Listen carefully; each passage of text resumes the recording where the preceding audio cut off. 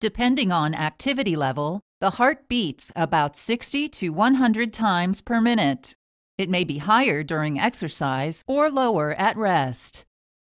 A normal heart rate and rhythm ensures the delivery of oxygen rich blood to all of the body's organs, such as the brain and lungs. A group of cells in the heart, called the cardiac conduction system, uses electrical impulses to control the speed and rhythm of each heartbeat. Each heartbeat starts in the right atrium in the sinoatrial or SA node then spreads through the walls of the heart chambers, called the atria, and ventricles, causing them to contract. This process repeats with each heartbeat.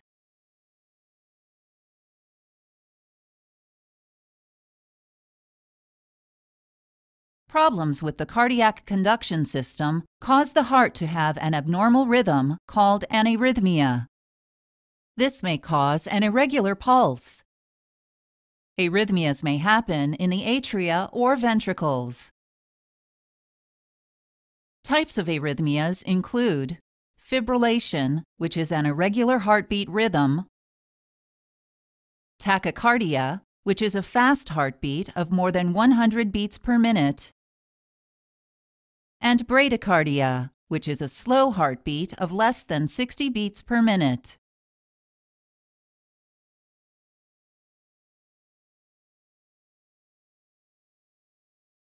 Atrial fibrillation is the most common type of arrhythmia. Random impulses cause the atria to fibrillate or twitch rapidly and randomly. Tachycardia in the atria is called supraventricular tachycardia.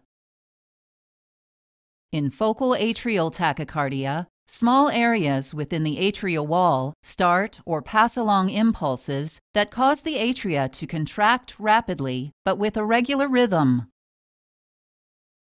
In atrial flutter, larger areas within the atrial wall start or pass along impulses that cause the atria to contract rapidly but with a regular rhythm.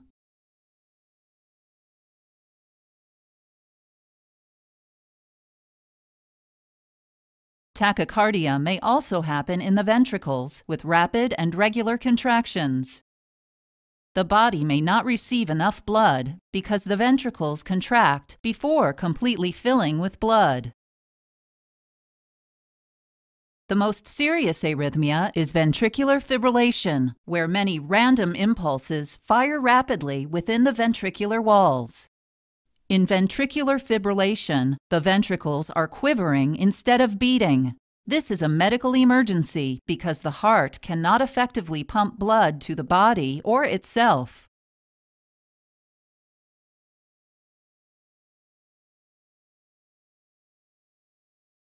Sometimes problems with the SA node or problems with the pathway of the electrical impulses to the ventricles can cause the slow heartbeat in bradycardia.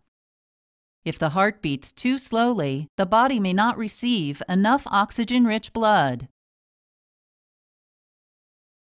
Depending on the type of arrhythmia, a doctor may recommend one or more of the following treatments.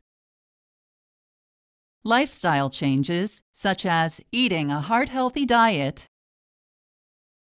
exercising, and quitting smoking. Medication, such as antiarrhythmic drugs and beta blockers. Catheter ablation, where thin wires inserted into the heart destroy the tissue causing the arrhythmia with hot or cold energy. And implantable devices, such as a pacemaker or defibrillator, to correct the pace or rhythm of the heart.